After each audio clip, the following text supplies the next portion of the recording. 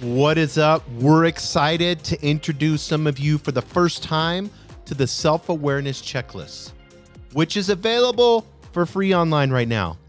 This handy tool is designed to help leaders like you become more self aware and ultimately more effective in your role as a leader. So, to kick things off today, I want us to explore the physical self awareness section of the checklist. This is the second part. So listen to the other podcasts if you want to get into the emotional part. But today we're going to be providing valuable tips for enhancing your overall well being. So let's dive in. Let's look at on the physical aspect of assessing your energy levels.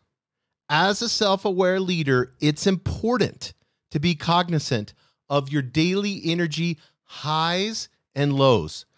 And I like to rate mine on a one to 10. And I can't use seven because we always use, uh, everybody always uses seven. So I'm going to look at my daily energy. I'm going to be like, okay, at two o'clock, I kind of get a low. Why? Is it because I ate carbs? Because I drank the night before?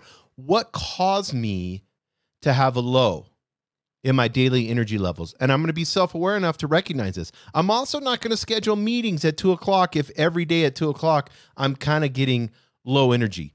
I want to talk to people in my highest energy times. I want to have meetings when I have the highest energy. So I want you to take note of when you feel most energetic and focused, as well as when you experience dips in your energy levels and you be selfish about it. You understand your personal energy patterns and then you optimize your daily schedule for maximum productivity and well being. And trust me, as a leader, if you always put yourself first and physically, emotionally, spiritually, you're operating at a 10, you're going to be an amazing leader and you're going to be able to help people. It's put the oxygen mask on first. Always put the oxygen mask on first, and then you can help others. So tune in to your body sensations. Pay attention to any discomfort, tension, or pain in your body because these sensations can provide important insights into your overall health and well being. I can tell when my shoulders and neck get really stiff, I'm stressed. I know that. If my shoulder blade starts hurting really bad, I usually need to take the time to stretch. And so I'll do some yoga poses and stuff like that right in my office. I don't have any problems with that. I have a mat. I will get down and do those stretching exercise and then it usually revitalizes me. I don't need an energy drink. I need to take a walk outside. I'm going to find in my toolbox, my physical toolbox, I'm going to find things that are healthy coping mechanisms. And usually that's a gym, and we're going to get into that here in a second. Regularly check in with your body because it can help you detect potential issues early on and then allow you to take the action that you need to address them. Next, number two is evaluate your nutrition. And you've heard this over and over again, but I'm going to tell you from experience. For me, going keto, low carb, and living that way has helped me tremendously. Just being able to intermittent fast and then 11 30, 12, 1 o'clock, I have eggs, fried eggs, and bacon with an avocado. And I eat that every day because I love the taste. So then I'm still going keto. I'm drinking coffee, still going keto. And then at lunchtime, I have some meatballs with some low carb tomato sauce. I may have some chicken with the low carb tortilla. And you might like, well, that's not very low carb, but it kind of is. It's good enough. I get a little bit of carbs. That's fine. Find things, find maybe I talked to a friend the other day and they absolutely thrive being plant based. Perfect. What's a balanced and healthy diet for you? what gives you optimal energy levels and what gives you mental clarity. For me, being keto and intermittent fasting gives me mental clarity. When I'm fasted, I can have amazing meetings. That's for me. For you, it may be totally different. Assess your current eating habits and make necessary adjustments. You cannot be an effective leader and eat fast food all the time. I'm going to repeat myself. You cannot be an effective leader and eat fast food all the time. You're cheating your body. If you're going to cheat your body, you're going to cheat in other ways. take the discipline, make the necessary adjustments to ensure that you're providing your body with the necessary nutrients to function at its best. It is your duty to make sure that you're feeding and giving energy to your body, not taking from your body. Most people in give and receive, you give to your body health. And what do you receive? Energy, clarity, the things that you need the most to be a leader. When you eat bad food, you're being selfish and you're not able to serve others properly. Next, monitor exercise habits. Regular exercise not only boosts your physical health, but it has a significant impact on your mental and emotional well being. This was huge for me. I did not realize that my depression, and, and just as just for me, maybe you need you know, prescription drugs, maybe you need counseling. I'm, I'm not saying any of that is bad at all. I want to clarify that. If you need um, a health practitioner to work with you through that process, 100% do that. But for me and me personally, the best thing that I have done for my mental and emotional well being, especially with fighting my depression, is to work out and eat keto. For me, that has what has helped me mentally and emotionally. And I would say taking vitamin D, taking taking my vitamins, vitamin C. There's a guy online on YouTube that I follow, and if you want to follow him, you can. His name is Dr. Berg, Dr. B E R G. He is the one that's helped me. I started following some of the things that he said.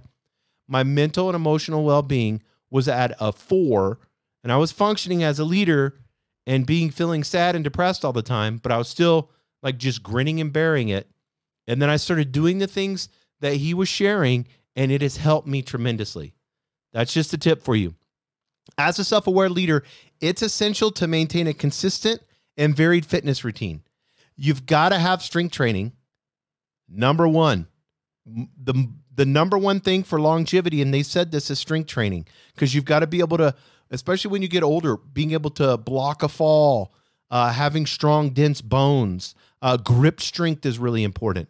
And then maintaining cardiovascular exercise, and then flexibility, mobility. Most people cannot get past their chair. They can't get in and off the ground easily. You should be able to pop off and on the ground easily. I'm 49 years old. I can get on the ground and pop off. And I, I can move all around. Mobility, flexibility, strength training, and cardiovascular exercise. That's going to help you guys. And if you you can do it. It's not that hard. I've hired a trainer to hold me accountable. How he holds me accountable, I'm going to give you a trick that I use. This is, is really, really good. What I allow myself to do is I cannot cancel the appointment. If I cancel the appointment, my trainer is allowed to keep, we've made an agreement in the beginning. My trainer is allowed to keep that money because he's there at the gym and he's waiting for me.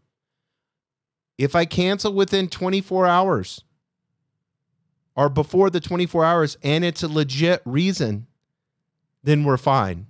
But it has to be a serious reason. I cannot, you know, and I have to be honest with them and I cannot lie. That helps me. So getting a trainer helped me and then not allowing myself to be able to cancel the lessons and him to be able to take. And you need a, a trainer that will challenge you, that will make you harder, work out harder than you. This I've seen trainers all the time at the gym and they're just bullshitting with the person. The person hasn't even got a sweat. You shouldn't hardly be able to talk. Whether they're HIIT exercises, if you want to combine flexibility, strength training, cardiovascular, talk to your trainer. Let them know. Say, hey, I'm 49 years old. This is what I want. Can you do that or not? I'm not 22 and I don't work at a gym like you do all the time. I do not want to lift super heavy. I want to do 12, 15 reps, lighter weight, do cardiovascular, get the strength training done and the flexibility. Next, prioritize rest and sleep. Adequate rest and sleep are vital for recovery, mental sharpness, and overall well being. You've got to evaluate your current sleep patterns. If you're drinking alcohol before you go to sleep, that will not help your sleep. If you want to see how bad alcohol is before you go to sleep, I want you to get a Whoop band or something that measures your heart rate variability and measures your sleep. And I want you not to drink one night and then drink another night. And I want you to see what happens. Your heart is working overtime to get rid of the poison that is in your system. And I drink beers occasionally and all that, but I'm telling you, you need to make a conscious effort to prioritize rest, relaxation, and you've got to get sufficient sleep each night. There's something wrong if you can't take eight hours of sleep at night. You're not that busy. You need to rearrange your schedule, look at your schedule, see what you're missing, what you can delegate, how you can have other people handle some things for you so that you're getting the rest, the relaxation, and the sleep that you need. And what does relaxation look for you? I like to do active recovery days. I like to go on a light hike where I'm getting into zone 2 cardio. And then that that works for me and I get out into nature. I need to have sunshine and get out into nature for relaxation. So, in closing, the self awareness checklist is a powerful tool. It's a powerful tool that will help you as a leader. You can get it right now. Click on the link below.